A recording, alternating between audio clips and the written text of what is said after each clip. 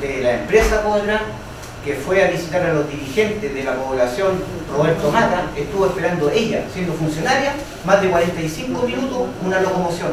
Y creemos que eso en Placilla no debería ser. Esperemos y esperamos de que podamos contar con la buena disposición de los nuevos dueños de Podrán para poder cubrir todas estas falencias que están haciendo los vecinos.